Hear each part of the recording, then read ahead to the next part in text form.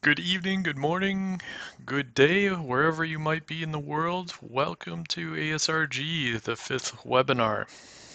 Uh, we'll get started here in the next few minutes, but uh, while we're waiting for everybody to get uh, settled, find the link and get into the, the YouTube channel, uh, we do have a little survey that we like to show at the beginning of each of the webinars. And um, we have three questions today, but uh, we'll go through them one by one.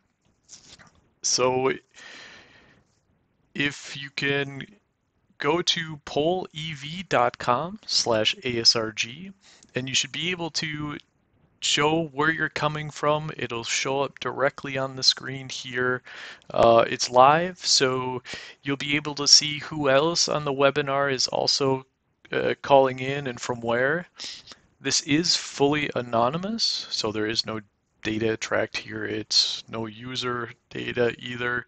So go ahead, uh, log in to pollev.com slash ASRG uh, show where you're coming from. Looks like uh, someone's already logged in and coming from, I would assume, California, Germany.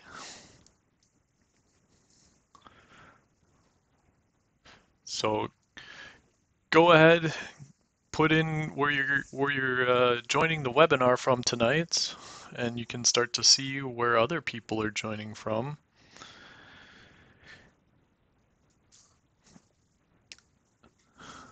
And if you're just joining us, then please, this is the fifth ASRG webinar. And we're doing a little poll at the beginning here. Um, if you can go to pollev.com slash ASRG and just put in where you're joining the webinar from tonight. Uh, it looks like we have well, a few people from from Germany, uh, maybe Michigan in the USA, uh, California, so on. Uh, we've put the link for pollev.com slash ASRG in the chat, in the live chat window, um, as well it's in the comments. So please take a look, click on it, show, tell us where you're joining the webinar from tonight. Looks like UK somewhere. A bunch of people from from Germany, a few from the US. And we'll get started just here in a few minutes.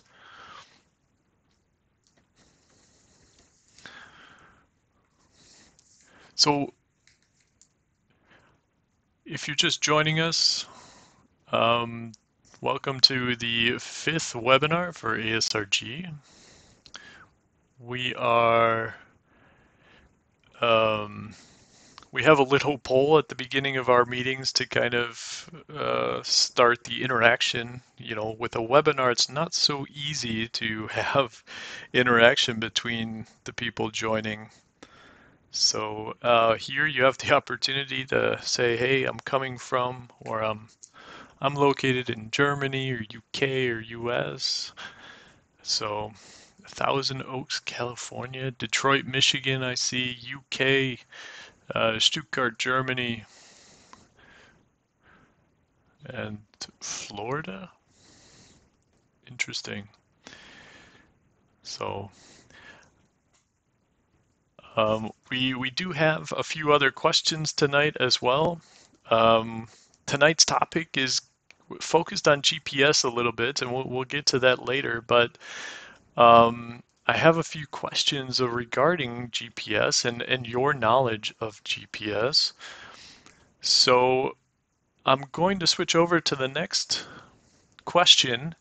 And if you look on your phone or wherever you're uh, logged in to pollev.com slash ASRG, you'll be able to answer the next question, and it's also live. So the question is, um, are you currently using GPS technology in your platform or at work or wherever you might be doing things. Uh, we have a few questions or answers here. The first one is yes. Don't worry though, it's completely secure. No problem. The second answer is yeah, uh, GPS is being used for our safety critical systems. You can already start to see people answering the questions here.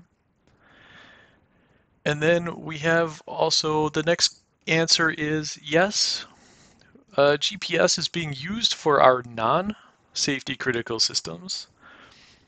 The fourth answer is no, GPS is not currently being used. And the last question is, well, uh, what is GPS?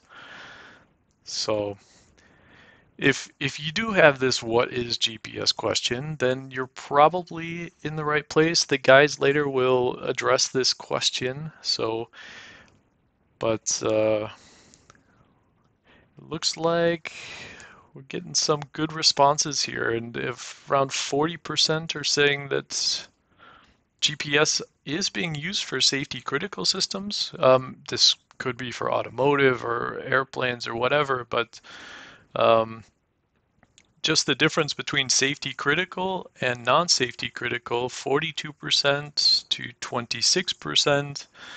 Uh, that's really, really interesting to see.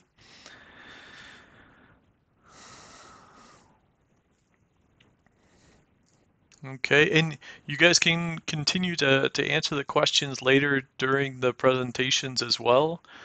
Uh, I'm glad to see that we don't have, well, what is GPS?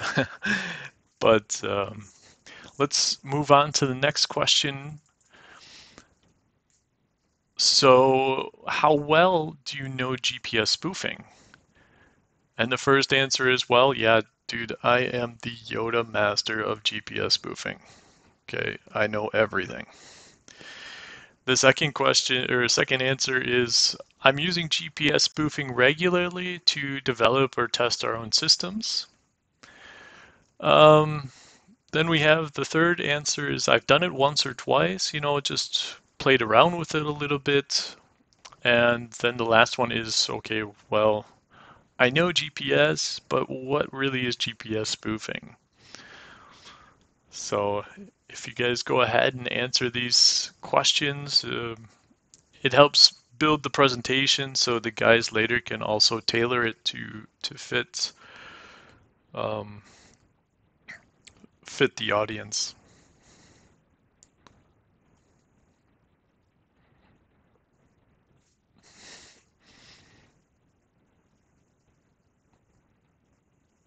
That's very cool. I really like how this is how this uh, PollEv works and you can see directly on the screen from your participation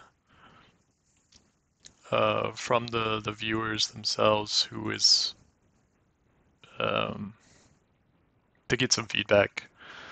So very cool. So a little about 10% are saying, yeah, I've I'm using it, maybe not in their daily life, but at least developing or testing systems. 33% saying, well, I've used it once or twice, probably played with it a little bit. And 59% of you guys are saying, well, GPS spoofing, ah, I'm not quite sure what this is here. Don't worry, we'll get there. Oh, and of course, Yoda has just entered. So, um, don't worry if you don't know what GPS spoofing is. This will be covered later. Um, really interesting topic today regarding GPS uh, and Tesla as well. So, um, great guys. Thank you for you know participating in this little survey. Helps us get a better understanding of who's who's joining, where you're joining from, also what kind of experience you have with the topics. So. Very nice, thank you. All right, so I think we can go ahead and get started. It's about six minutes after. And so I'm going to jump over to our ASRG presentation here. And just quickly, I want to welcome everybody to the fifth ASRG webinar. I think it's the fifth one now. Um, my name is John Heldreth. I'm the founder of Automotive Security Research Group, or ASRG, and we have a really great presentation for you today.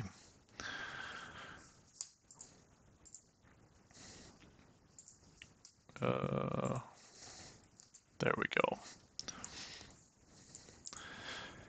So today we have Roy and Dror from Regulus Cybersecurity. They're going to talk about lessons learned for automotive navigation after the Tesla GPS attack or GPS hack.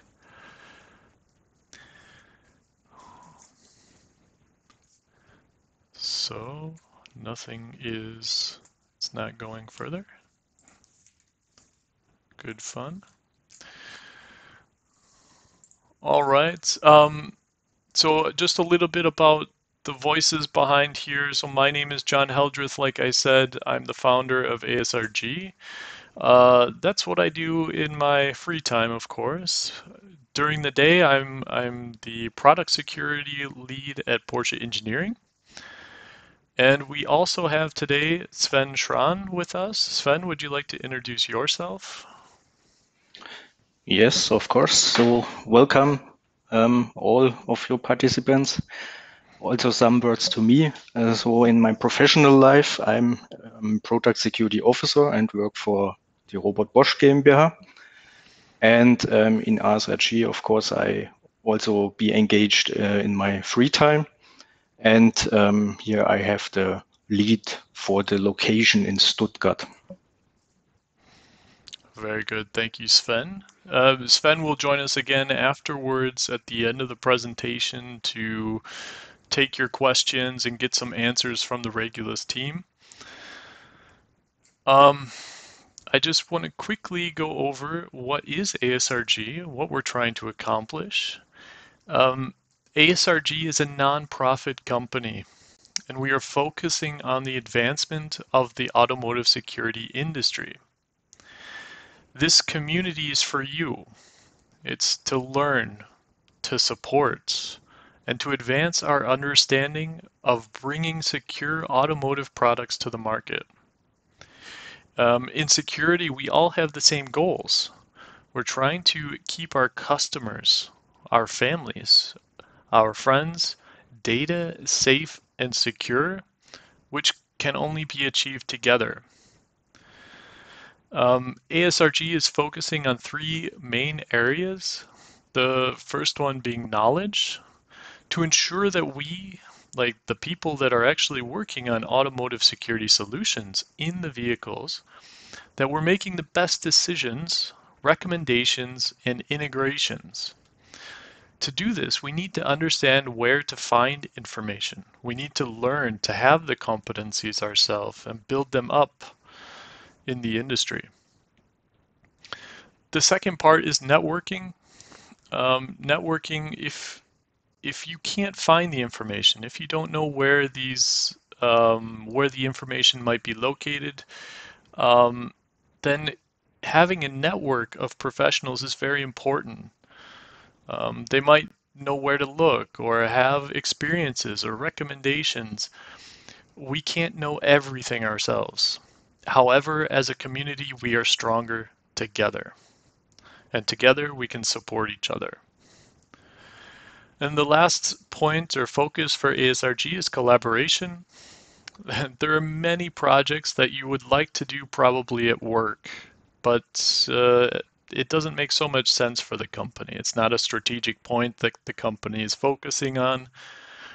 So However, these, these ideas, these topics would probably benefit the industry um, as a whole and not just your company. So um, since ASRG is a nonprofit organization, we are unbiased and offer a space where members and sponsors can innovate together outside of your company. So just a little bit about what we're doing at ASRG. Um, just a quick overview. We have I think, 22 different locations currently. Um, we're all over the world. If you look here and see that maybe a location is is not near you, or um, maybe you you are near a location, but if if you don't see a location here, this doesn't mean that you we can't have your your own location or um, you can start your own. But take a look here. ASRG is worldwide. USA, even Brazil in Recife, they are also having a, a location. Oxford, England. Here in Germany, we have Stuttgart, Munich, Berlin, Rheingebiet, so the Frankfurt area. Tel Aviv, Cairo, in Egypt. We have uh, India, we have two, Bangalore and, and Delhi. Japan, in Tokyo, Shanghai, Singapore, and Sydney. So, oh, and of course, Romania. I'm sorry, I forgot. But um, we are worldwide. So we have around 3,500 members currently, 22 locations. So um, this is this is uh, the the size of ASRG currently. So how to get involved with ASRG? Um, you can attend local meetups. Uh, right now, please don't do this because currently with the situation with uh, Corona or COVID, uh, this is not recommended. So this is why we have the webinars currently. However, you can attend a local meetup, you can start your own chapter, get join a project, get involved, collaborate, get to know the people, um, be a part of ASRG actively. Well, how are you going to do this? We're all in home right now, so we, we all need to stay at home, or most of us at least. Um, there are many ways for us to connect worldwide. And the first one is Slack channel. So we have a Slack channel that's dedicated to ASRG topics. We also have a Telegram so please um, use these two instant communication methods to get in touch with us, to ask questions to the community, to uh, also give links or information, whatever you think might be interesting for the community as well. So hopefully everybody was able to get a little screenshot or get their handies up to the, the screen. Uh, we also have two social media outlets. Um, we have Twitter and LinkedIn. These are our two main ways of providing information over social media. So you can also join us uh, or follow us on Twitter, uh, follow us on LinkedIn. I have also added the links um, in the comments as well. So please uh, click on the links, go uh, join the conversation.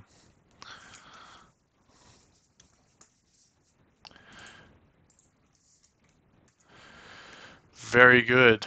We have a lot of webinars planned. We have some cool things coming up.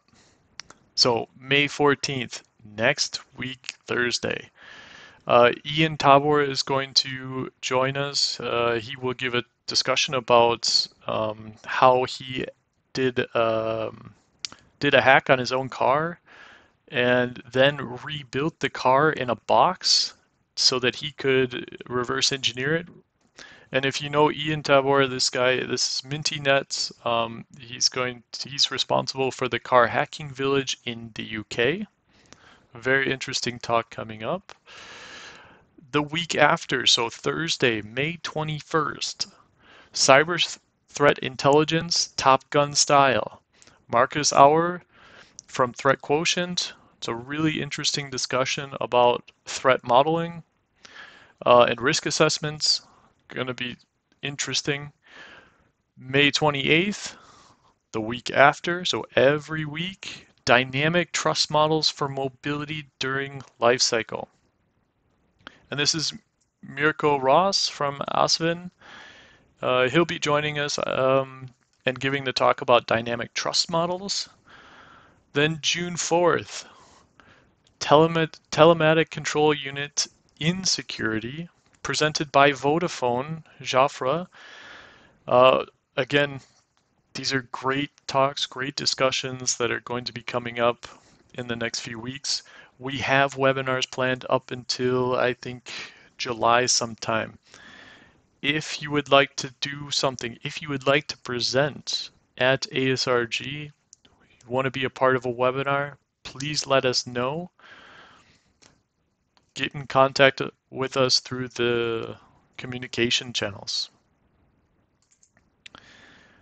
So I always have to state this, but um, since ASRG is a nonprofit association, we we want to keep it free for our members, and this is why we need sponsors. Um, so if you have an idea about how you or your company can sponsor ASRG to be a part of this driving automotive security community, um, please contact us. You can contact us at hello at asrg.io. This is a great opportunity for sponsors. It's global branding, access to exclusive content, post opportunities, find talent, build up the industry. So please contact us if you'd like to support. All right, so now the reason that everybody came to this webinar is not to listen to me all night, but actually to hear Roy and Dror um, from Regulus talk about lessons learned for automotive navigation after the Tesla GPS hack. So I, uh, I have the unique pleasure to to hand this over to Roy and Dror, and they're going to take us through the next hour, hour and a half of GPS hacks. Hello, everyone. Uh, this is Roy. Hello, this is Dror. Uh, thank you very much, John and uh, Sven, for having us, and thank you everyone who uh, tuned in to watch this uh, talk. I hope that uh, this will live up to your expectations.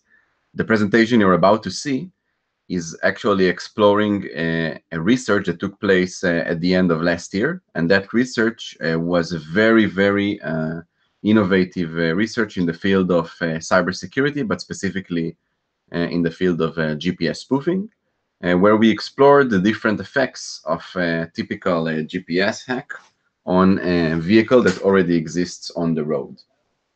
So uh, we'll start off by saying a few words about uh, Regulus. We were founded in late 2016. We are still a startup. We are based in Israel, in the city of Haifa in the north.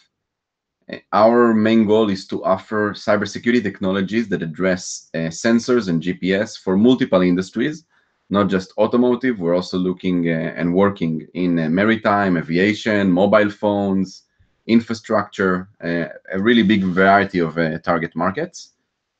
Uh, I myself am a former military uh, officer. And uh, I worked a lot with drones and different autonomous systems. And that's what got me into the field of also autonomous vehicles and dealing with marketing cybersecurity technologies for them. And uh, Dror? So I'm uh, acting as the chief engineer of uh, Regulus uh, Cyber for the past two years. Uh, I hold the BSc and MSc in mechanical engineering uh, from the Technion, majoring in electro optics and material science. At the beginning of the way, I used to work for the semiconductor industry for applied materials, and later on for the most of my uh, career, I used to work for a defense uh, contractor in Israel called Rafael, dealing with uh, multidisciplinary discipline, disciplinary systems. Um, Roy? Yes. So uh, I'd like to start off uh, by mentioning a very important uh, differentiation in the world of cybersecurity. Uh, traditional cybersecurity addresses multiple threats that uh, address the internet connection, the infotainment systems, even the ECU.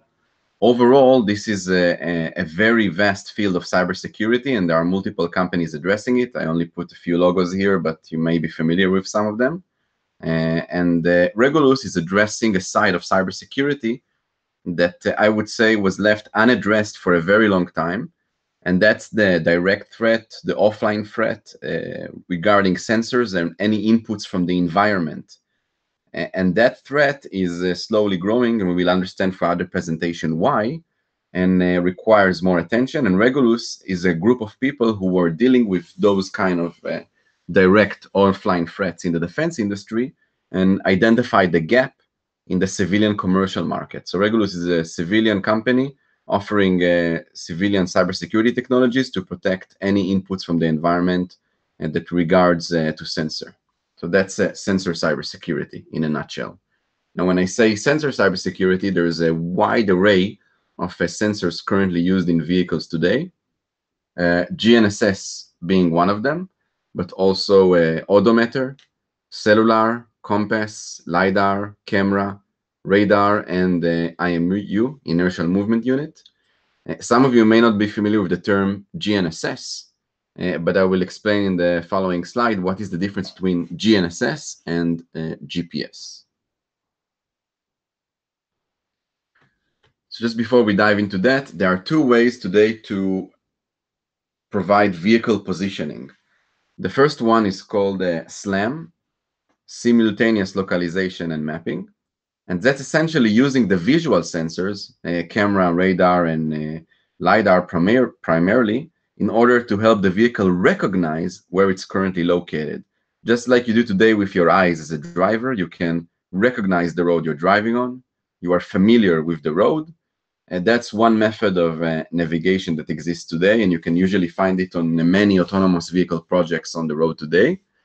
Uh, this method has uh, two main limitations. Uh, number one, uh, you need to give the vehicle the capability of understanding what to expect. So you have to get HD mapping, a very accurate uh, layout of uh, the road and the surroundings, so the vehicle can cross-reference that with the sensor input. And the second limitation is bandwidth. So that's a lot of information that has to flow from the sensors and being analyzed in real time for the vehicle to understand where it is. So while being uh, accurate, uh, it's very limited to a certain area uh, in which the vehicle has the mapping information in advance. Uh, GNSS is uh, using basically the GNSS receiver, uh, which is a pretty cheap component if you compare it to other sensors. And it combines the information in many cases with the IMU and the odometer to provide you, the driver, with uh, an accurate fix on your location. Now, as I mentioned, GNSS is slightly different than GPS, and throughout this presentation, I might use them interchangeably, but I'm always talking about GNSS. GPS is the American Satellite uh, Navigation Network. In addition to that, you also have the European Galileo, the Russian GLONASS, and the Chinese Beidou. All of these networks are currently operational, and when you activate location services on your phone, for example, or in most vehicles, you normally connect to several of them, if not all of them at the same time. Because the way GNSS receivers work is that they always aspire to connect to as many satellites as possible. The more satellites you have connection with, the better accuracy and the better um, uh, precision you have for your navigation and position requirements.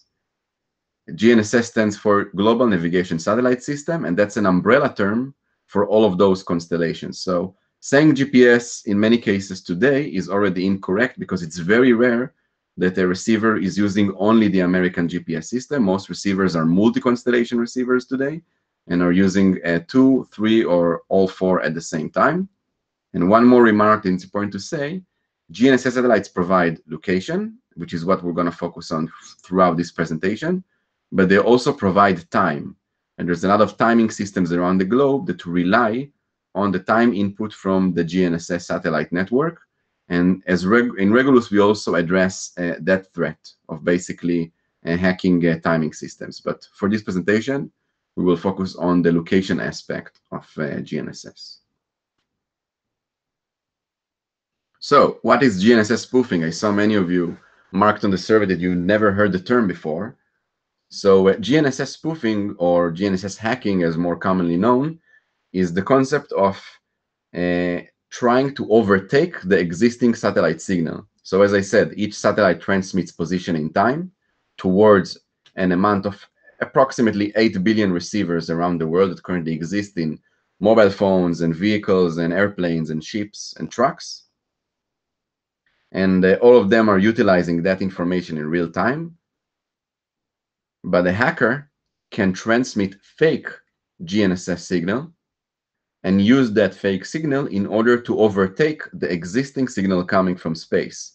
Now, doing that is actually quite simple because the satellite signal is extremely weak. That's because of the long journey it's doing from the satellites and the actual architecture of the way GNSS was designed. So if you essentially transmit a GNSS signal here on Earth, it is quite feasible to take over a, a system by transmitting signals that are much stronger than the ones coming from space. You can simply transmit time and location and receivers in your vicinity will lock on to your fake signal. And that way you can inject false information into a certain target. Now, a really good analogy with two images that I really like to the difference between uh, being uh, jammed or blocked to being spoofed is this one. So let's say you're a driver and someone is uh, jamming your sensors. It's essentially like putting, a blindfold on your eyes you're not getting any sensor input, but you're also aware of the fact that you're not getting any input. And that's why you will attempt to stop the car, you will drive more carefully, you'll be alert. And this is how each system would behave uh, in a real scenario when the input suddenly cuts away. Spoofing, however, is almost like putting a VR headset on your face. And you're seeing a reality completely different than what it actually is, but there's no way for you to tell and that way you continue driving normally, but according to the information you are fed through the VR headset. And that's essentially the same way that sensor spoofing or GNSS spoofing trick a system. So why now? What's the reason that suddenly uh, there's a surge in uh, GNSS-based attacks? Well, the simple answer is uh, cost. It used to be uh, an investment of about a quarter of a million dollars to get a high quality uh, RF generator like the one you see here in order to be able to generate the exact same signal coming from the GNSS satellites. In recent years, a new development started uh, becoming very popular called an SDR or a software-defined radio. Software-defined radio is a research tool. It's a cheap research tool that was made to allow uh, people from around the, the globe, students, uh, scientists, and even hobbyists accessing the world of RF, radio frequencies, and trying different experiments of transmitting or intercepting different transmissions. This SDR can be modified to generate a signal identical to the one coming from the GNSS satellites in space. So essentially and unintentionally, SDRs became the main attack tool in order to hack GNSS systems around the globe. And this cheap $100 tool can transmit a signal that can take over ships, airplanes, uh, timing uh, systems in critical infrastructure, and automotive. When you look at cybersecurity threat, first of all, if the if being able to conduct the attack is a cheap uh, it, it, it's a cheap method, then it's already making it a very risky uh, cyber attack because it's accessible. The second thing, it's easy. I won't go into uh, details, but uh, if you Google the concept of GPS spoofing or hacking, you'll see many guides and many results, uh, mainly because this is something that many hobbyists do either for fun or to hack different uh, innocent purposes. For example, there's a lot of Pokemon Go players who are using SDR in order to hack the GPS on their phone and uh, go catch Pokemons in places that are far away or without even leaving their home. And that just proves to you how easy it is to do. And the third is dangerous. As I mentioned, the spoofing can uh, actually affect an entire area. It's not only limited to a specific target. And uh, many GNSS receivers today are susceptible to this kind of attack because of the simple logic rule that says always lock on to the strongest signal available, which means they would always lock on to the spoofer signal instead of the authentic one coming from space. An example that happened just a few months ago here in Israel. Uh, as you know, there was a large uh, civil war uh, waging in Syria. As part of that civil war, there were a lot of GPS spoofing attacks from both sides. Uh, one of those attacks uh, was so powerful that it actually affected the Ben Gurion airport, which is Israel's uh, main international hub of transportation. many airplanes actually reported that they are seeing their location shifting or disappearing.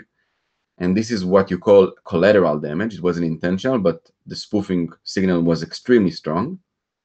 And that also affected the ride sharing service here in Israel. Our most popular ride sharing service right now is called Gett, short for Get Taxi.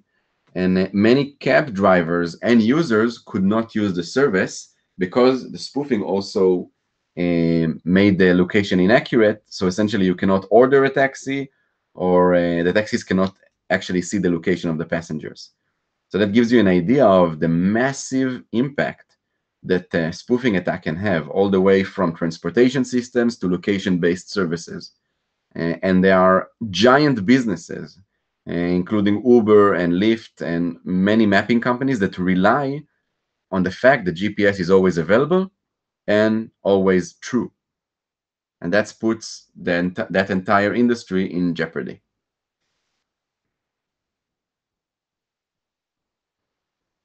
Now, uh, instances of uh, GNSS spoofing actually occur worldwide. This is just headlines from the past year. Uh, in, in it's increasing because there are multiple industries that are relying on it very heavily and different types of hackers, either for monetary purposes or for experimental purposes are causing all kinds of uh, incidents around the globe.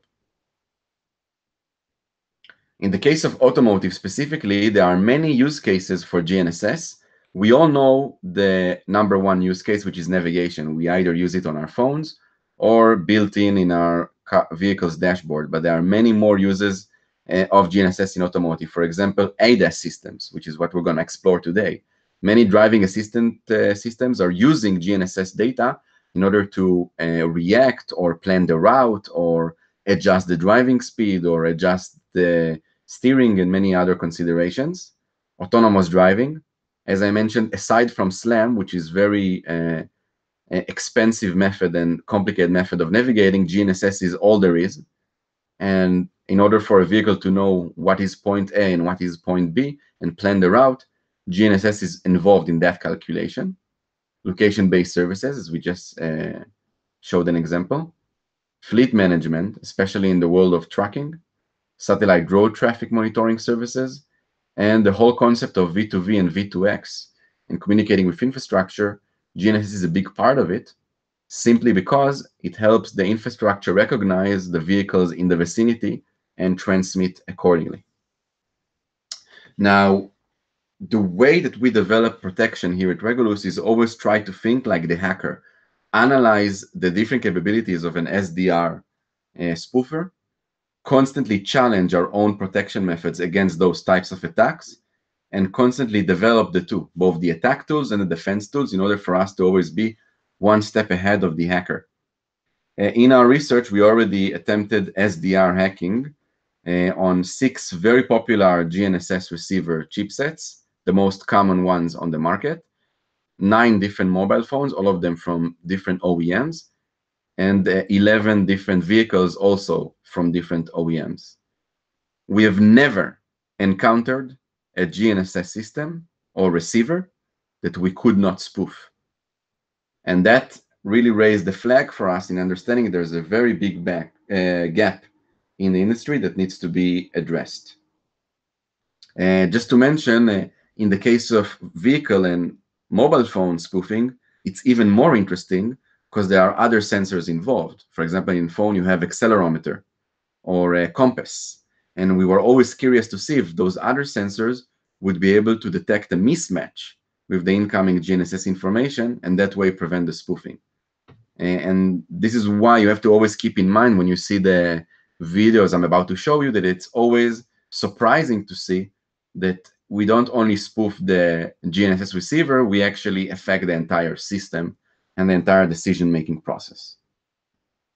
In this video, uh, and I hope you can see it uh, clearly on your screen, we are doing a simple experiment where we transmit fake satellite signal from an SDR towards uh, three different uh, mobile phones. All the mobile phones are currently located in our offices in Haifa. This is how the spoofing software looks like. We're just transmitting coordinates. And as you can see, all three phones jump at the same time, change location at the same time to the highway. And we are also able to mimic movement by transmitting uh, constantly changing coordinates that are making the system think that it's currently moving south on the highway. And that just to show you the powerful capability of uh, the collateral effect of uh, spoofing and being able also to create a scenario.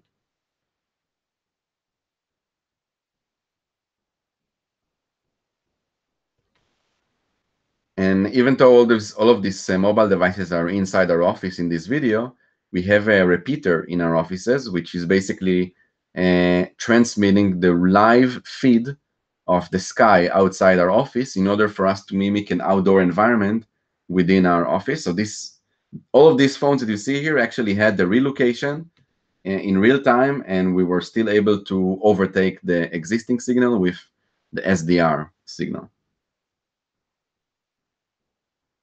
Now, the research that really made the GP, GNSS spoofing part of the cybersecurity headlines is a very interesting research that was done by Southwest Research Institute at the Black Hat Conference, the world's largest cybersecurity conference that takes uh, place every year.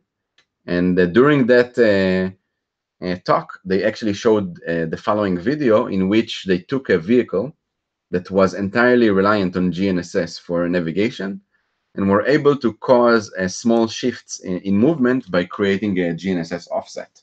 So in the beginning of the video, you see the car going in a straight line uh, using the real uh, GNSS information coming into the car. And now the, the spoofing starts and creates an offset. The car is trying to create that offset, but in reality, it's actually driving off the road. Now, this is a very uh, extreme example, I have to say, because the car is using only GNSS. It doesn't cross-reference the information with any other sensor. But this extreme example was done to show that the vehicle can drive quite well with GNSS. And it's very risky to use only GNSS because if you spoof it, then you have complete control over the vehicle's trajectory. This made us consider the fact that maybe, just maybe, a vehicle on the road today that does have other sensors, including GNSS, might be susceptible to a GNSS spoofing attack. And we wondered whether we will be able to take control of the vehicle's uh, driving mechanisms using the same attack method.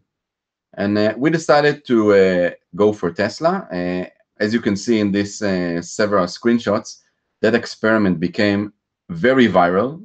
I think it was uh, almost 124 publications, 42 languages.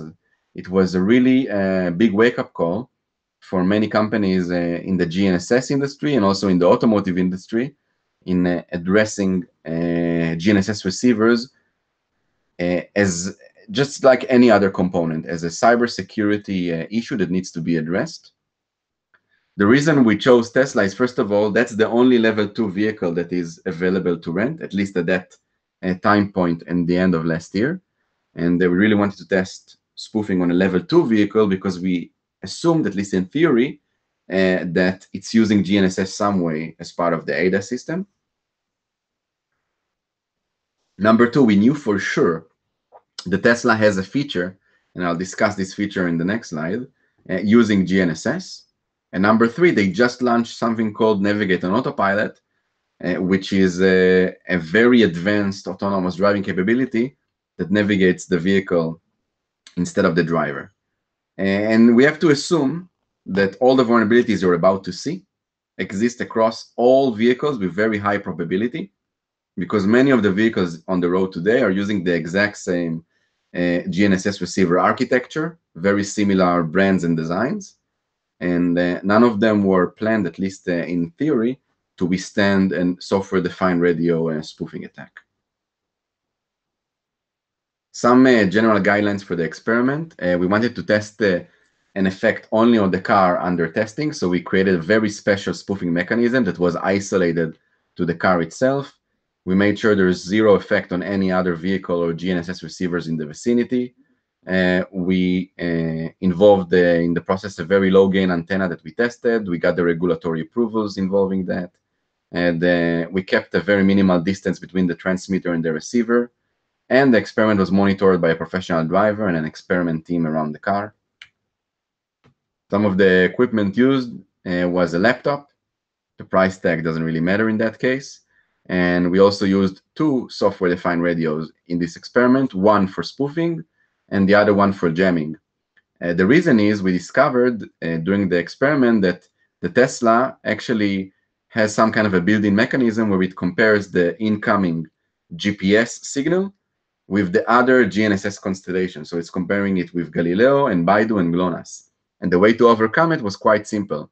Use one software-defined radio to spoof GPS and Galileo at the same time, while jamming, uh, jamming uh, Beidou and uh, GLONASS. And that way, there was no way for the system to compare the incoming signal with any other constellations. Uh, in addition, we had um, one PPS sync, which means we always made sure that the spoofer, the software-defined radio, is uh, synced with the existing satellite uh, constellations in real time in the sky in order for the attack to be seamless and for the takeover to be very stealthy. Two remarks about the Tesla. Uh, it has two features. If you've never driven one, I highly recommend it. It's extremely fun. Uh, one feature is called autopilot, which is essentially uh, an adaptive cruise control system uh, that adjusts the speed, uh, stays in the center of the lane, and you have to hold the wheel at all times uh, while this is active. and also the upgraded feature navigate on autopilot means that you get all the autopilot features, but you can only activate it on highways uh, that have all the lanes facing in the same direction. You have to define a destination in advance. And what it does is it exits the highway for you at the designated interchange. So you give it a destination, it identifies which exit needs to take, and it activates the blinker and exits the highway on its own. So at this part of the presentation, I will be going back and forth between the actual uh, presentation file and a Google Chrome tab that I have open with the movie. Uh, this is because of some technical limitations uh, with Google uh, Meet. And I wanted to make sure that you get the audio as well and not just the video in that case. So the first uh, scenario that we tested was if we can actually divert a vehicle off the road using spoofing. So what we did was the car had a destination and we activated Navigate on Autopilot. The Navigate Autopilot decided that the next large interchange was the designated exit for the car. We then spoofed the vehicle to think that it currently already reached that interchange, and that actually engaged uh, the exit maneuver, and the car identified a small pit stop as the designated exit and drifted right into that pit stop at a very high speed, as, assuming this is the correct exit. And there was no driver approval required because the, this is what Navigate Autopilot does. It exits the highway for you, and after it finishes the exiting uh, maneuver, it lets you take uh, manual control over again. What we see here, by the way, is classic sensor fusion because this could not have been done if there was no small pit stop on the right-hand side. The car wouldn't just drive off the road into uh, the shoulders or into a wall or anything like that because at the same time that the GNSS says you reach the interchange, the camera and the radar systems verified it's safe to take that maneuver. And that means also making sure there's a dotted white line on the right-hand side. So the vehicle performed the maneuver, but at the wrong location. So let's uh, see how uh, this video looks like. I'm gonna uh, minimize the presentation and let me know uh, if uh, on the chat if this is visible to everyone.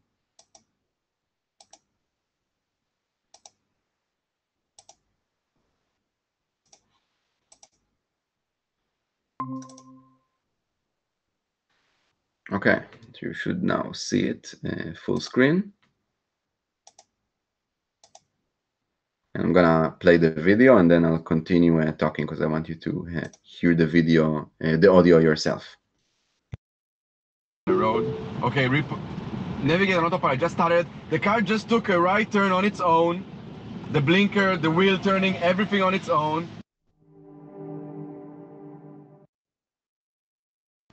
Okay, so that was uh, the vehicle being uh, spoofed and then uh, relocating uh, to uh, the nearest pit stop. I know it's quite fast and sometimes it's hard to understand exactly what is happening, but I, I can also share afterwards the link for you to, to view it slower. Okay, so back for the presentation. Now we'll go for scenario number two. Because so in scenario number two, the braking system we noticed is also using GNSS in some way because the Tesla was able to see uh, the road speed limit and adjust the autopilot speed accordingly. We weren't sure if it is camera input because some vehicles uh, actually recognize uh, road signs or GNSS input, so we put it to the test. What we essentially did is uh, the car was driving autopilot on 100 kilometer uh, road speed limit we spoofed the vehicle to a nearby road that had a, a very strict 33 kilometer uh, per hour speed limit. And then, as anticipated, uh, the car was using GNSS to decide on the maximum speed allowed and slowed down the vehicle. And uh, now we will see uh, the, that video. I'll go back to the uh, Chrome tab.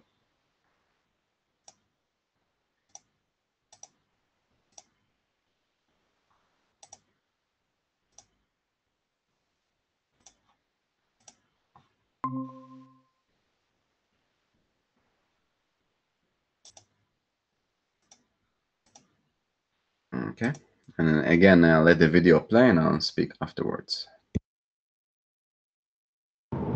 And again, the car is heavily braking all the way to, uh, oh, it's slowing down for some reason. Slowing down dramatically in the middle of the highway. Look at it, all the way from 100 to 33. I'm not touching the brakes because probably the, okay, so it's changing to the lane in front of me. Look, there's a car coming. I had to change back. There was a car coming. I had to manually grab the wheel. Okay, no, no, no, Okay.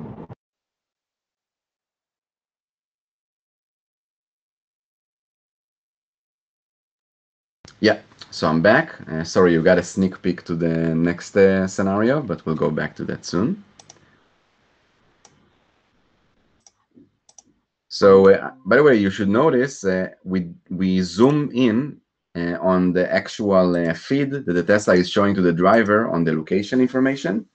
And if you'll notice, there is a complete mismatch between where the Tesla is showing it is than what you physically see through the window on the road. And that gives you a clear indication that there's uh, really no um, no cross-reference with the visual sensors in identifying that the environment really fits what the GNSS uh, sees. Okay, the last scenario and the most worrying one, and that's actually the scenario that made us uh, contact Tesla, go public about this a few months later, and uh, really made this into a big issue because that's a life-threatening uh, scenario. Is that uh, we actually unintentionally made the car drive into the opposing lane. The way we did that is, as I mentioned earlier, Navigate on Autopilot should only be available to the driver to activate on a highway with all the lanes facing in the same direction. So what would happen if we would reverse the situation? If the car is physically driving uh, a road that has two opposing lanes, but we spoof the car to a highway that has all the lanes facing in the same direction, then suddenly we notice that it automatically activates the navigate on autopilot feature. And then we also had a destination that required a left side left turn exit. So the vehicle maneuvered into the opposing lane as part of its uh, preparation for exiting the highway. And that means that just by using wireless remote spoofing, you can cause a level two vehicle to drive into incoming traffic. And none of the sensors are capable of stopping that from happening because they were never designed uh, to this uh, scenario. So let's see how it uh, will look, how it looks like in uh, real time.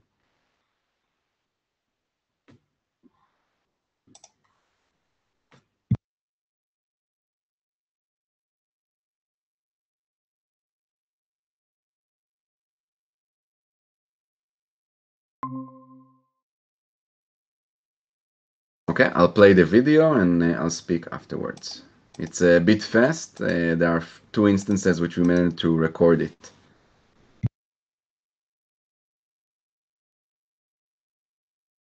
Okay, no, no, no, no, no, Okay, the Tesla does not react in time. Being spoofed to the interchange itself.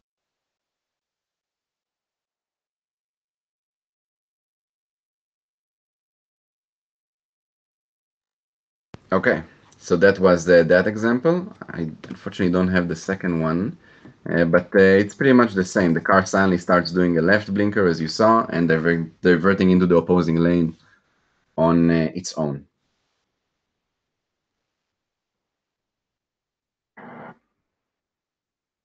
Now, uh, we see an increase, as I said, in spoofing incidents, and I, I think that what we proved in that experiment shows that the potential uh, the risk potential is massive, is that there's always monetization uh, involved in cybersecurity threats.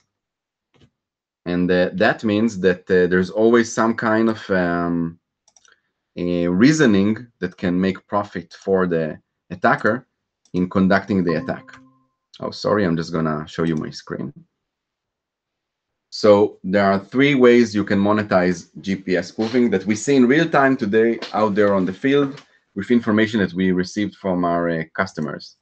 Number one, uh, sabotaging ride sharing and under LBS services.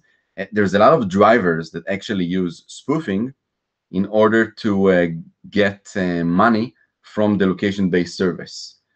And they can simply teleport themselves to the destination or pick up fake passengers and that way generate money from drives that never actually happen. This is something that's already taking place, and there are several uh, headlines about it in the media. Freight and cargo theft. And this is something that is uh, increasingly common in uh, South America, but also other regions around the world where uh, trucks mostly that are using GNSS uh, for uh, securing themselves, calling for law enforcement or having a special locking mechanism on the cargo that is geofenced uh, the attackers are actually using uh, spoofing in order to open the cargo door or to prevent law enforcement from reaching the location where they ambush the truck. And that way they can uh, steal cargo. And lastly, a vehicle theft. So we have a lot of new services where you can actually unlock a vehicle with your phone. There are companies that are uh, basically renting out vehicles they have parked all over the city, such as Car2Go, you approach the vehicle, you unlock it with your phone, you can drive it in a certain geofenced area. You have to return it to the same parking uh, slot normally. Uh, using spoofing, you can actually steal the car because on their screen, uh, in the fleet monitoring center, they actually see the car not moving while essentially you're taking it uh, far away and stealing the vehicle. Those are just a few examples, and I'm sure many more will pop up uh, throughout 2020, uh, 2021, as this is increasing in popularity. Uh, beyond the financial losses, it's also damaging the brand image. And as you saw, it's a massive uh, safety risk. And uh, from this slide onwards, uh, I'll give uh, Dror uh, the opportunity to present some of the technical details behind the GNSS and our technology. So thank you, Roy. at the beginning of this presentation, you mentioned the difference between GNSS and GPS where in general uh, GNSS is the common term for all the, the satellite-based navigation services uh, lean on uh, four different systems uh, launched by uh, four different uh, countries. where GPS is one of them that was pioneerly launched by the United States of America. Now, from now on, I'm going to talk a little bit uh, regarding the principles of uh, the GPS, but uh, the principles are in uh, general similar for uh, all of the, the systems uh, out there. and here and there, I'll point out the differences between the different systems. The GPS uh, Global Positioning System is uh, actually a system that built uh, from 32 satellites out there in space orbiting Earth, usually called the SVs, where, which stands for a space vehicle. And we can uh, basically we can understand the reason uh, of uh, looking for a solution like that for positioning because from uh, the dawn of uh, mankind, uh, people used to raise their eyes up to the skies and to use stars for all kind of different purposes, among them in order to navigate. So at the same way that uh, people used to use uh, stars in the sky in order to navigate, uh, the idea popped up to have artificial stars in the form of satellites orbiting Earth. And in that way, uh, the GPS uh, was born as uh, uh the number of uh, satellites uh, launched out to space emerged and make the ability to use them in order to acquire a positioning solution here on Earth. So there are today already 32 space vehicles for the GPS systems in addition to a numerous num number of uh, other satellites from each one of the other uh, systems, uh, GLONASS, BeiDou, and Galileo by Russia, China, and Europe, all over the, the globe. Uh, in which for the GPS, uh, the last one that was launched was uh, launched recently in the past year and is still in uh, uh, evaluation. Out of these uh, 32 satellites, only 27 are uh, in actually use where the rest five of them uh, is uh, as standby. So you can understand there is a redundancy of the system. The system is well designed. In order to have coverage on any point on on the globe actually only 24 satellites are being used in order to have the coverage and additional three are used uh, in order to uh, uh, have better accuracy in the positioning solution.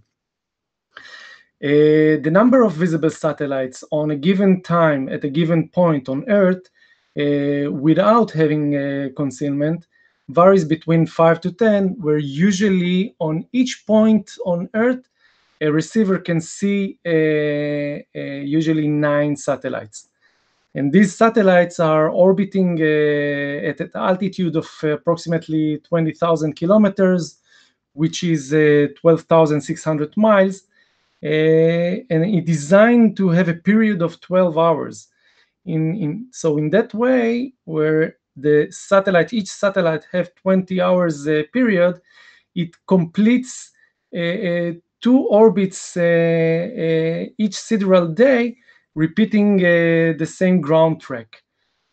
Now, that was very helpful at the beginning when uh, GPS was just uh, started, uh, and we'll see in a few slides uh, how many satellites, the minimum number is needed in order to have a, a positioning solution that it uh, gave the ability, while having only the first four satellites out in space, to give uh, the US Army the ability to have a positioning solution uh, at uh, specific regions that they were uh, interested uh, to have. Beside of these uh, satellites orbiting Earth, there are ground management stations that are used in order to communicate with the satellites. they and only they can communicate with their satellites, where the receivers, the common receivers, are only uh, uh, receiving messages coming from the satellites and cannot talk back uh, to the satellite. Now, each one of these satellites have synchronized time between each other, uh, usually uh, updated and uh, corrected by the ground management station and that is achieved by uh, using a very accurate uh, atomic clock where each uh, satellite is equipped with.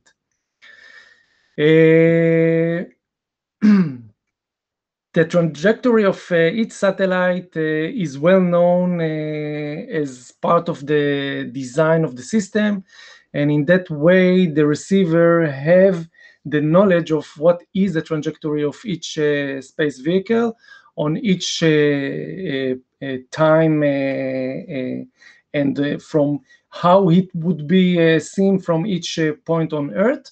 And that helps actually the receiver to calculate the positioning uh, and have the positioning solution. by having a receiving uh, messages from the satellite. the satellite itself transmit the data and we will see the we will see the the, the construction of uh, each message uh, in a second but uh, in that way when the receiver uh, get uh, these messages out of the satellites it can actually uh, measure in a way the time of flight came from the satellite.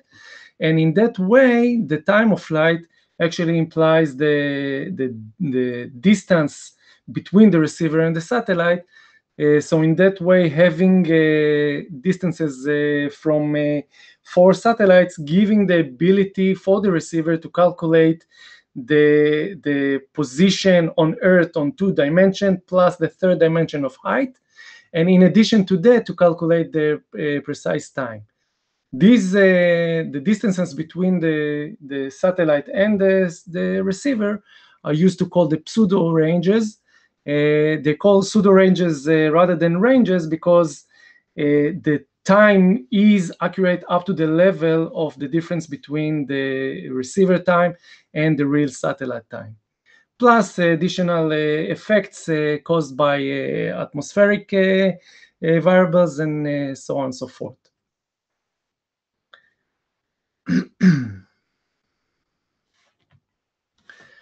Now, a little bit uh, regarding uh, the construction of the messages coming out of the GPS uh, satellites. Each, uh, now, once again, I'm, I'm, describing here the way the GPS technology works for the GPS system. The principles are similar to the other systems, but differ in a few ways. Uh, for the GPS signal, uh, the way the system was designed is to have a single frequency on which the signal coming from the receiver will be transmit on. For the GPS technology, on the L1 frequency, the number is 1.575 gigahertz, meaning that all of the space vehicles, all of the satellites are transmitting this, the, their messages on this uh, exact uh, frequency. So the receiver needs to listen only to this frequency with a very uh, small bandwidth uh, at, and have at the same frequency all of the space vehicles. The way to differ between those vehicles, the space, the satellites, is by having different characterization for each one of them. The way to achieve that is by using a, a pattern called the gold code or the pseudo random number. Gold codes are numbers are actually a, a, a signals or, or, I would say I would call it a, um, a generated uh, number, a binary generated number uh, by a, a pseudo uh, random generator. And for the GPS, this number stands on 1023 bits, which are transmitted on a 1023 kilobit per second, causing having a period of one millisecond. So each one millisecond, this code is repeat itself. Taking this code and exclusive ORed with navigational data, which is the data of the ephemeris, which is the trajectory, the trajectory of each satellite with the gold code, gives us a signal which is unique for each one of the satellite. Now, in that way, the receiver, after demodulating the signal, can differentiate between each one of these satellites to others. In the GLONASS system, it's a little bit different. There are no different gold codes for each one of the satellites, and the way to differ between different satellites is by listening on different frequencies, meaning there is a central frequency for generating, for transmitting the signal for GLONASS, but each one of the satellite in the GLONASS system transmits signals on different frequencies. So the, the, the way to different differentiate between different satellites is by listening to different uh, channels. Back to GNSS, to, back to GPS, once having the gold code uh, exclusive ORed with the navigational data, which uh, is transmitted on 50 bits per second, and actually having a, a, navigation message that holds all the data regarding the navigation message coming from the space vehicle, it is being modulated with a carrier of the 1.575 megahertz, getting a BPSK, a, a binary phase shift keying uh, signals, and we can, as we can see on the bottom of the uh, slide. Once the signal reach the receiver, now the receiver needs to look for this signal. Now, Roy mentioned at the beginning of uh, the presentation that the signal uh, reaching to Earth is very weak. It's so weak in a way that it, it uh, reached uh, the surface of Earth below the noise floor. And if the noise floor is 80, minus 80 dBm, the signal coming from the satellite is even lower, stands on minus 130 dBm usually, which means that in, in normal ways of tracking signals, uh, it won't be possible to uh, acquire the signal and track it. So in order to uh, let the give the ability to the receiver to uh, uh, track and get locked on the signal coming from the satellite, first, the receivers are designed to be very, very sensitive. And second, a, a mechanism and techniques of signal processing are being uh, used in order to try and look for a replica of the gold code which a copy of them is already in possess with the receiver and in that way the receiver is able to search through through uh, through uh, two domains of frequency shift and code time shift allowing the receiver to look for a correlation where it gets a correlation between the maintained copy a replica actually of the gold code and the one comes from the receiver once a correlation is acquired, a correlation peak uh, rises uh, in the in the code uh, time frequency shift uh, domains uh, uh, domain, and from there on, the receivers start to track this satellite. And in this slide, we can see an example of correlation peak for a specific space vehicle, satellite number 31 of the GPS system. Once the receiver tracks uh, at least four different space vehicles, beside of having the first preamble bit, which is a kind of synchronizing event for the specific uh, uh, 3D uh, fix, actually to have a positioning uh, solution of the uh, positioning system, it start to gain the messages from different space vehicles. In this slide, we can see an example of having uh, signals from PRN number 9, 11, 14, and 17. And in that way, it gives the receiver the knowledge of the pseudo range between the receiver itself and four different satellites. Having the, these distances between the receiver and the satellites, allowing the receiver to calculate the position of the receiver itself uh, using a method called trilateration, where trilateration is actually a, a way of having distances between known points and calculating the position of the objecting uh, receiver by wrapping the, the transmitters, actually the receivers, with spheres and taking each one of these spheres and looking for the cross section between them. Having only two space vehicles will give us two uh, uh, points where the spheres are intersect. In that way, the accuracy will be low. Adding a third uh, space vehicle with a third sphere will give us more accurate solution because the accuracy is lowered and now you have a better accuracy uh, actually not lowered but better accuracy of the positioning solution uh, uh, and the um, ambiguity is a little bit lower so GNSS is great technology. Uh, actually, we do want to use GNSS when we need it. Uh, giving uh, GNSS a lower priority over sensors will make uh, ADAS to be more complicated. And instead of lowering the priority of uh, GNSS,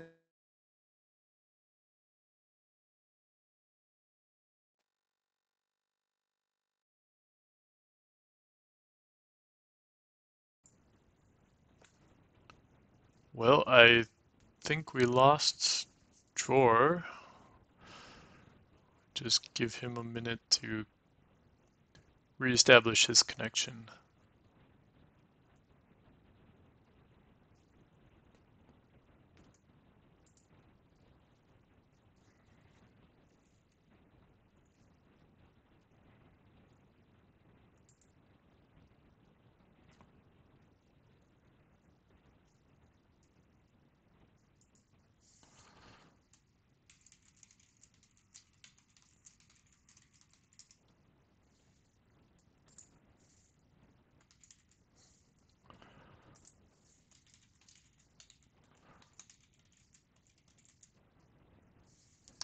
All right. Well, it, looks like we lost Roy and Dror. Um, hopefully they'll be able to uh, dial back in quickly.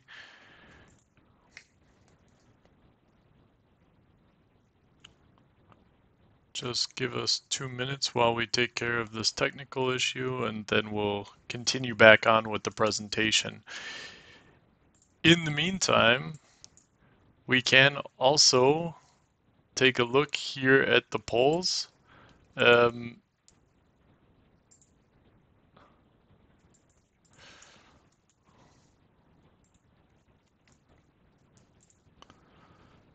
So if you'd like to participate in the poll, you can go to pollev.com slash ASRG and you can put in here your location, kind of share with the group, the community of where you're uh, located currently. The poll is completely anonymous, so if uh, you don't have to worry about your information being shared or not. Hello, we're back. Hi, Roy. Great. So uh, we'll switch back over to Roy and Dror and finish the GPS presentation.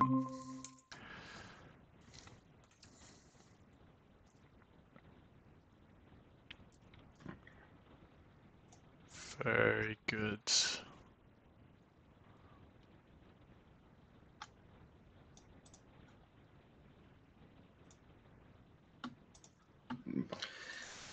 Okay, so sorry for that. Uh, so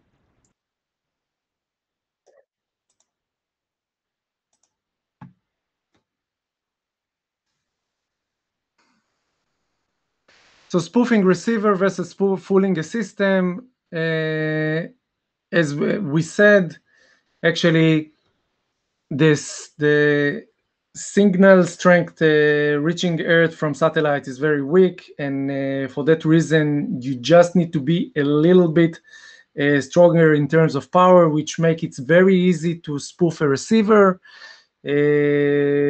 Uh, receiver may lose a lock in means of a 3D fixed solution for a few seconds before locking onto the spoofing signal, but uh, it can be even a seamless uh, spoofing if when using a, a sophisticated and well-tuned tools. receiver will report false position or time even though there is a jump in a, a position or end time. And we saw all of these examples while uh, testing and evaluating uh, systems as part of our uh, red team work. And receiver uh, that we've tested has no way of knowing it, uh, that it is being spoofed and uh, when spoofing has stopped. So actually, it's very vulnerable. On the other hand, system needs some planning in order to be a, a to lower the count on GPS, GNSS, and the system is getting false position all time. Uh, even though the system has more data from other sensor, odometer, IMU, compass, radar, and camera, it's hard for the system to design when there is contradiction between the data uh, coming from certain uh, sensor and the other sensor which one of them is right and which one is wrong. And in in that in the example of autonomous driving you can't uh, afford yourself uh, count on the majority vote. Uh, you need to have uh, in terms of safety a solution that compromise one with each other. And uh, I think that instead of lowering the priority of uh, GNSS and counting on other system, it's better to add additional solution of uh, validating and verifying that the data is uh, accurate.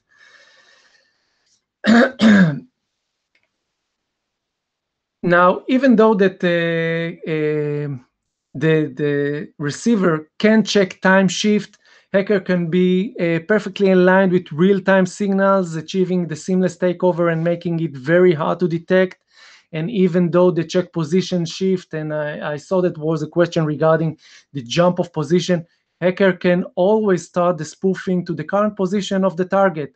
And when it does that, the, the receiver do not have a, a, an instance jump, a major jump, and it locked on the fake signal, and now the hacker can uh, drift the location of the receiver without him knowing. Multi-constellation receiver as a backup uh, is a good thing to have, but hacker can always spoof other constellation as well, or just jam them and spoof the main constellation he'd like to uh, spoof. And the same way, having multi-frequency receiver because each one of the system has more than one uh, frequency to uh, uh, transmit the signals. In the same way, the hacker can jam other frequencies and spoof the certain uh, frequency he's interested to spoof.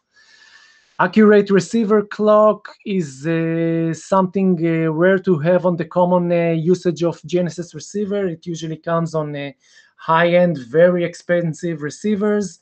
But uh, at the same way, having a very accurate clock on the receiver level, the hacker as well can use T60, O60, or even rubidium atomic clock will make which make the uh, spoofing equipment to be uh, more expensive.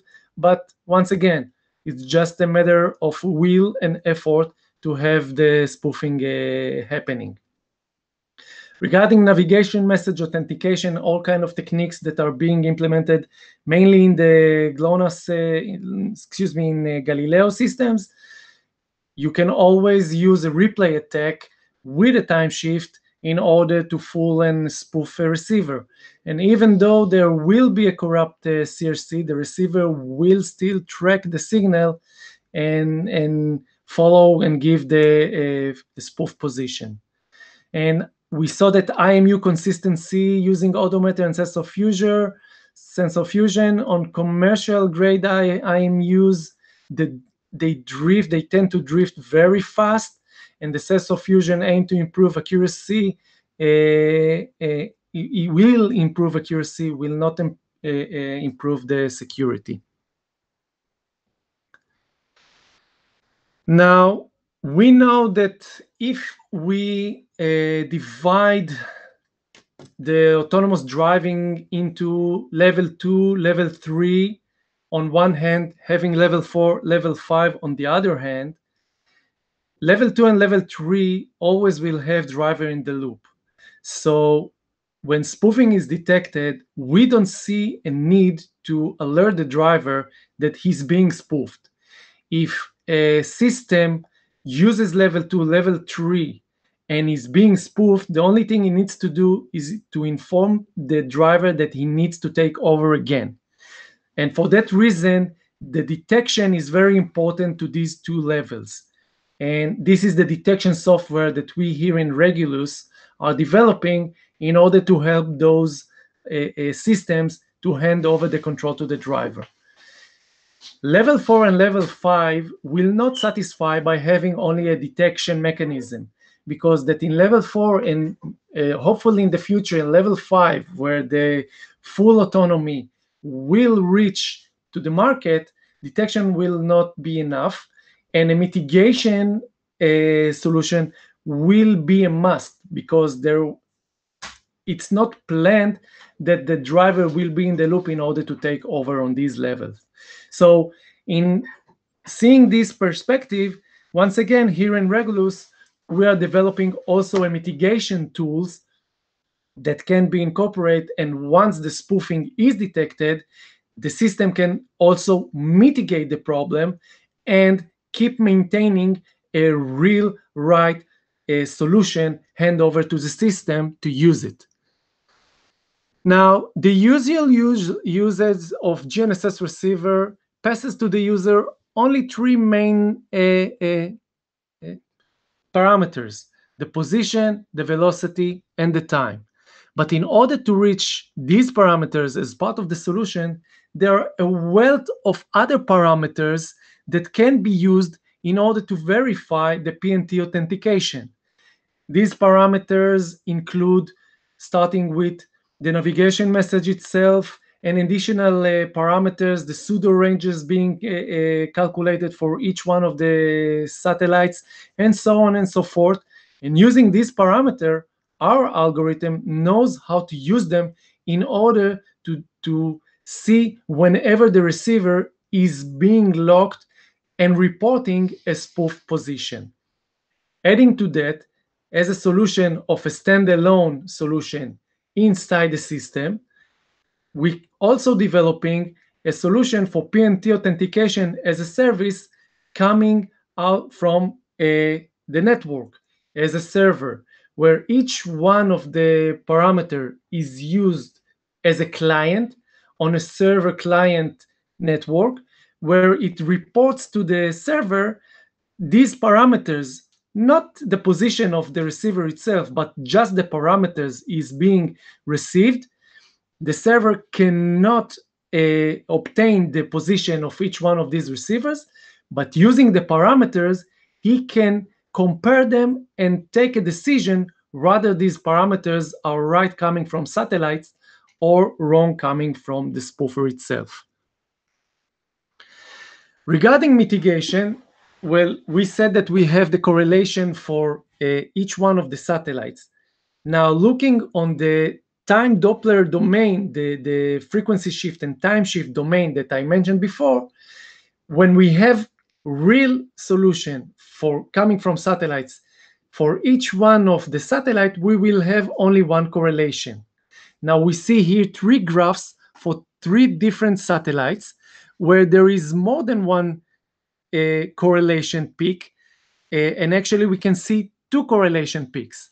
Now, in this example, we know that the first correlation peak, yet we can't know and tell which one of them is the right one coming from satellite. And we see another correlation peak that is actually coming from a spoofer. Now, we have developed a tool that make the use of signal processing, which allows it to differentiate between these two uh, correlation peaks and know which one is the authentic correlation peak that was achieved from a satellite rather than an, a satellite a, a correlation peak that did not come from the satellite.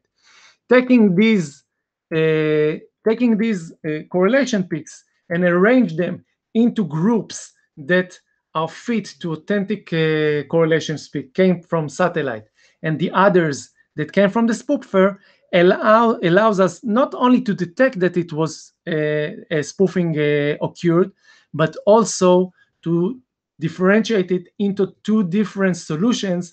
One of them is the right one, which the algorithm will pass over to the system, and the other one is the, the spoofing uh, uh, solution, which the, uh, the algorithm will block.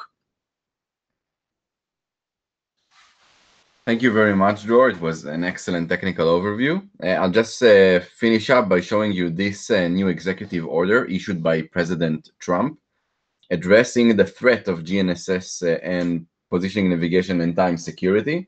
This is another example how governments and regulators are taking direct involvement in enforcing cybersecurity rules for protecting GNSS.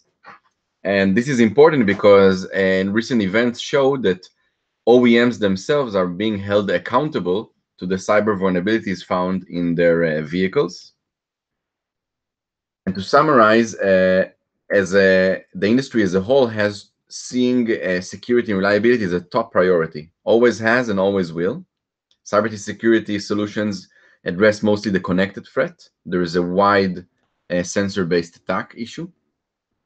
Uh, GPS is at the heart of all location navigation and ADAS systems. The threat of GPS spoofing is on the rise. Knowing when spoofing is actually occurring has a really big value to protecting navigation systems. And there is increasing global regulation around GNSS security standards. Uh, just a quick glance, but we can go uh, into it later on uh, using the email you see below. We have a very uh, specific set that in a way that we work with our customers. We provide a free of charge proof of concept to start off, and I highly invite you to take advantage of that.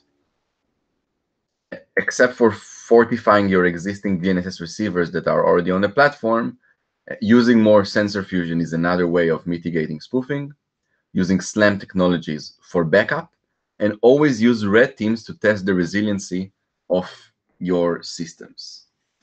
So that was uh, the presentation. There's a lot more we can uh, cover regarding the experiment. If you want to learn more, there's a link on the bottom left that you can see.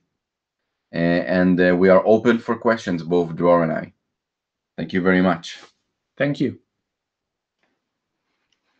Okay, this is uh, the hint where I come back to the game. Um, at first, also from our side, from RSIG, um, big thanks to you for this interesting talk and to bring um, also this new topic um, yeah, in, in the RSIG organization. It was really interesting. And um, let's start with answer some questions. So some I received. Um, I would pick up as the first question. Um, how is the in, the automotive industry's reaction um, about your research results. What is your feeling? Um, have they understood also the problem regarding the, the GNSS um, topic? And are they really willing to mitigate the risk? Um, what is your experience uh, at this point of time regarding this? Uh, so thank you for this question and thank you for reading it, Sven. Uh, this is a really good question because the comments that we received, first of all, we received a lot of responses. I think that nearly any of the large OEMs around the globe contacted us in some way with questions and clarifications. Uh, overall, it seems that everyone are very eager to address the problem. Uh, right now, as you can imagine, uh, the transition to level two is uh, still ongoing. For many companies, the technologies that we showed in Tesla are either still in development or only planned for the next generation of vehicles. And we are already seeing interest in implementing this technology as part of the production line instead of retrofitting existing vehicles on the road uh, to ensure that uh, level 2 and level 3 ADAS systems uh, are reliable and uh, safe. So overall, I'm seeing a very positive response to this research. It's important to mention, though, that uh, it's still unclear whether the GNSS receiver manufacturers are the ones that should address this, or is it the OEMs that should uh, retrofit it, uh, implementing into the existing GNSS receivers? That's a discussion that is still going on. Okay. Um, regarding the GNSS receivers, I also received a question. Um, do you made an overview about the different available GNSS receivers and could you recognize recognize differences related to security measures right now? Uh, so the good news is yes, there are some companies that make GNSS receivers that have some level of resiliency. Earlier, Dror showed you a table with countermeasures. Those countermeasures are things we identified in existing uh, commercial GNSS receivers on the market. Uh, very few of them had any kind of mechanism of protection, but those that did had those protections. Uh, as we stated, uh, we could overcome them. They created some delay for the attacker, some uh, inconvenience for the spoofer, but they are still being able to overcome. We, as uh, also I mentioned, we've never encountered a receiver that was completely immune to a spoofing attack. Okay, thanks to, for the answer. Um, then the next question would be, um, makes the environment of the car which you want to spoof and the location a difference to the difficulty for a successful spoofing attack. So for example, I think it makes a difference if you are nearly to the equator or if you are located um, in the north of the planet because the satellite constellations are different. Um, do you made some experience regarding this also? Sven, can you repeat the end of the question? I apologize, but you were breaking off. Okay, sorry. Um, the, I started at the beginning. So the question is, makes the environment and the location of the car you want to spoof a difference to the difficulty for the successful spoofing attack? So maybe um, it could makes a difference um, if the car is near to the equator or of in the north of the planet where the satellite constellation is um, different or dif more difficult to receive exactly or also um, make a difference if you are in an urban environment like in Tokyo or somewhere in Nevada in the US, for example.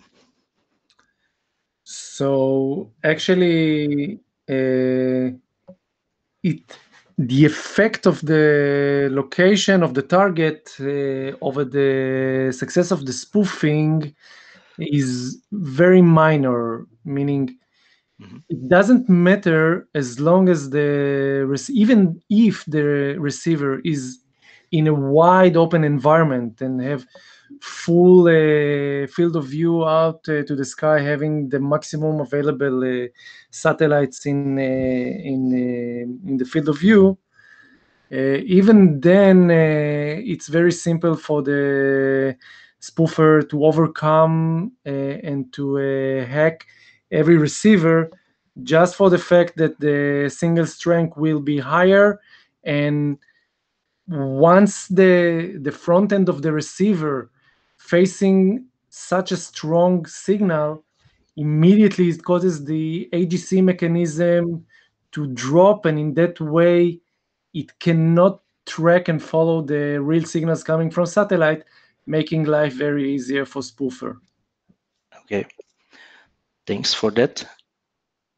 Um, another question is um, regarding the targets of evaluation you just have seen. Um, do you made experience um, if for automated driving functions um, there are cars available which are only use GNSS for this um, automated driving, like um, it seems to be in your videos, or made you also experience that the um, car manufacturers uh, trust more um, combined systems with GNSS and other sensor fusions? And uh, did you made also experience to trick such fusion systems? So That's actually a very good question. Uh, and yes, we had the chance to see uh, level four uh, platforms on development stages with different OEMs where we conducted the proof of concept processes. And actually, none of, none of them was a, a, system that is based on sensors uh, that exclude the GNSS receiver. All of them, in a certain point, even though that had multiple lidars on top of the roof uh, and all kind of uh, radars and cameras, need to have a mechanism to calibrate the system at the beginning of the drive, meaning to have an initial understanding of the surrounding uh, uh, it is located in. And just after uh, having this calibration, yes, some of these uh, systems were able to go on and navigate using the other system without having the GNSS in use. But while understanding uh, this kind of mechanism, we realized that the only thing we need to do is to uh, operate the spoofer uh, prior to the ignition of the platform. And in that way the platform is waking up to a spoofed uh, area and it cannot maintain the mission it was planned to do because it wasn't able to calibrate itself and to determine the right position it was in and uh, it was uh, useless. Mm-hmm. thanks to this um, we received another question um, have the g5 technology any effect on gps spoofing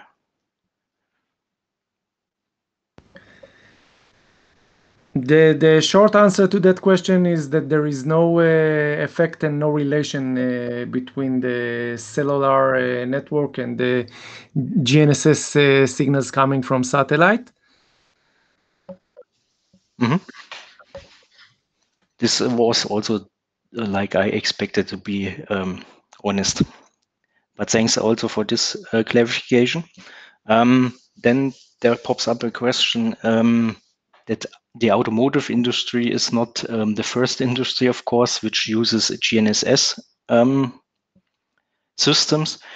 Um, for example, uh, the military applications have uh, much more experience and yeah, used it for several more years. Um, have they? Do you know if they have um, similar issues still open to solve today? So yeah, absolutely. Uh, the military in general is not immune uh, for this kind of uh, spoofing and jamming, and a lot of uh, work is being done uh, through uh, defense industries. usually, from what we know, when we research a little bit, the the defense products are making use of uh, first very expensive uh, high-end uh, receivers uh, which user, usually make the use of uh, much uh, more i would say sensitive and special antennas for first addition to sophisticated receivers. I can tell uh, you that we did had the chance to uh, test uh, several kind uh, of uh, high-end, very sophisticated receivers that were spoofed, and a way to overcome uh, this problem is to use multiple receivers on a certain platform. So in that way, there is a distance between the the receivers. So it can differentiate uh, the signals and expect to have different solutions between one each other and in that way if you spoof uh, both of them both of them will show the exact same uh, location. That's first. Second uh, the gps system uh, have uh, an additional channel which is reversed for reserved for military uses. Uh, there are two uh, gold codes, and I didn't uh, went into deep details regarding that. The civil one is the coarse acquisition, uh, which is open for the public. There is another channel which called the P channel or Y channel, the precise one, uh, which is encrypted. And the way to uh, uh decode the data uh, that comes on that channel, the the U.S. Air Force, which operates the GPS, make the use of a specific key on the receiver on the ground level in order to decode these signals. But this is a privilege kept only to militaries and governments and not for the public. Mm -hmm. um, do you know something about for the public system again now? Um, that there is some work on some authentication mechanism. I think I heard um, that Galileo is planning to do something like that. Yes, uh, you're right about that. Uh, there is uh, work being done of adding an authentication service to the Galileo system. each mechanism of that kinds introduce new challenges and new threats. In order to have uh, this kind of mechanism, you need to have a certain connectivity to the network, bringing us back to the 4G and in the future the 5G. And the receiver will have to communicate both receiving the signal from satellite and authenticated using uh, messages coming from the network, from the from the internet. Now, once you're connecting to, to the receiver with additional network, you're exposing it to new vulnerabilities that can come as cyber threats through the network. And I don't want to imply, but we all were witnesses to the 2019 outage of the Galileo system. I don't know if it have any relation to that, but we might see this kind of phenomena in case the receiver will be connected to another network make it vulnerable to uh, uh, cyber uh, threats through the network. Mm -hmm. Thanks. Um, the next question is um, for that we have to look a little bit in the future if we think for example to smart cities and the cars are communicating with um, by using v2x and communicate with infrastructures and so on do you think that this could also be helped to mitigate such spoofing, risk of spoofing attacks? In theory, this is an, op an option, but uh, in practicality, you have to remember that since spoofing is an attack that affects an entire vicinity, it would also affect the infrastructure. So you don't really have the cross-reference point you require. Uh, but uh, some infrastructure is designed to be more resilient, and maybe in the future that can be also a way to reduce the risk, but not to prevent it. Mm -hmm. Okay, thanks for that. Um, then maybe one last question.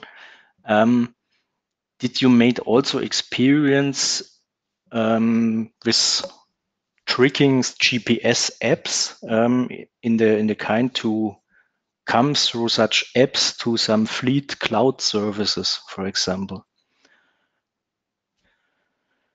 Um, well, I think that the question was if you can use an app to cause spoofing. And if that was the question, then yes, there are apps that you can install on Android, at least that we saw, that do like a local software only spoofing. There's no like real transmission that affect your own phone. And that information can also be affecting uh, your uploaded uh, location information to any services.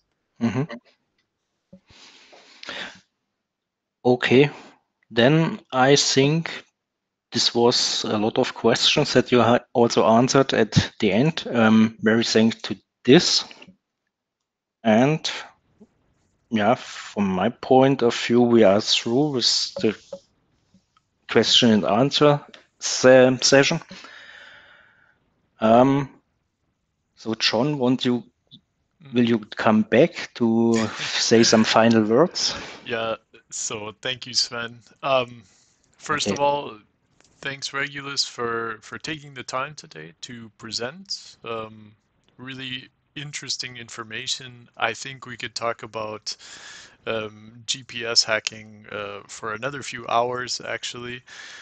But um, what's really interesting for me is that Regulus is focusing on the this sensor that's actually providing data for some of our most safety critical systems and vehicles, and uh, ensuring that the, the data that the sensor is actually producing is correct uh, is something that's a little bit different focus than we, we normally see. So, uh, Roy Dror, thank you so much for taking the time today. Um, to the, thank you to the guys uh, on the webinar. Uh, thanks for participating. Thanks for the questions. Um, Roy Dror, do you have something to say before we close? Um, as you can see, there's an email on the screen, info at regulus.com. If you have any further inquiries, uh, this email reaches directly to me, so feel free to reach out. Okay. Great. Well, thank you guys so much. And um, once again, next week, Thursday, uh, Thursday, I think it's May 14th. I have to look. Uh, May 14th, we have the next webinar. Come check it out. It's going to be another interesting topic, and uh, we'll see you there. All right. Thank you guys. Have a Thank good Thank evening. you. Goodbye. Ciao. Goodbye.